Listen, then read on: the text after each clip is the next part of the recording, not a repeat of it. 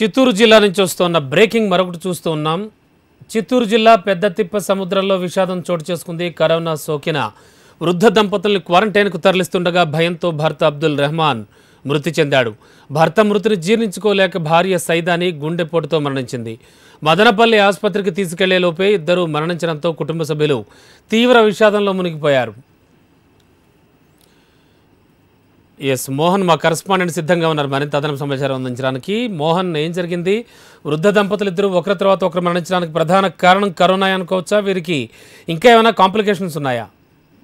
రమణ బాబు కేంద్ర రాష్ట్ర ప్రభుత్వాల నుంచి స్వచ్ఛంద సంస్థల వరకు అనేక సందర్భాల్లో కరోనాను చూసి భయపడాల్సిన పని లేదు. కరోనా భయం అనేదే కరోనా వల్ల ఎక్కువ మంది చనిపోవడానికి కారణమని పదే పదే చెబుతున్నా. ఈ రోజు భయం అనేది ఇద్దరు ప్రాణాలు తీసిందని చెప్పి చెప్పొచ్చు. ఆ అబ్దుల్ రెహమాన్ డెబ్బై నాలుగేళ్ళ వయసులో ఉన్నటువంటి ఆయనకి ఆయన భార్య సైదానికి కరోనా పాజిటివ్ అని తెలిసింది.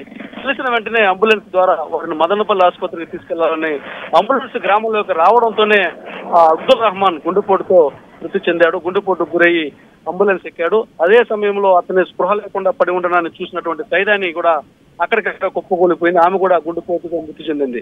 కరోనా పాజిటివ్ అయినటువంటి ఇద్దరు భయంతోనే గుండెపోటు గురై మృతి చెందినట్లుగా ఉన్నటువంటి వారందరూ కూడా చెప్తున్నారు. ఈ ఘటన ఈ విషాద ఘటనతో ఒక్కసారిగా ఆ గ్రామం అంతా కూడా విషాద ఛాయలు అలుముకున్నాయి.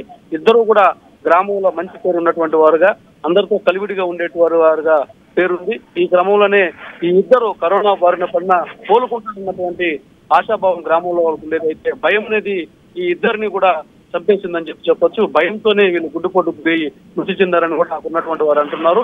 వైద్యులు మదనపల్లి ఆసుపత్రికి తీసుకునే లోపలే ఇద్దరు మృతి చెందినట్టు తెలియడంతో మృతి గుండెపోటు గురై మృతి చెందారని చెప్తున్నారు Ramanababu. Okay thank you Mohan.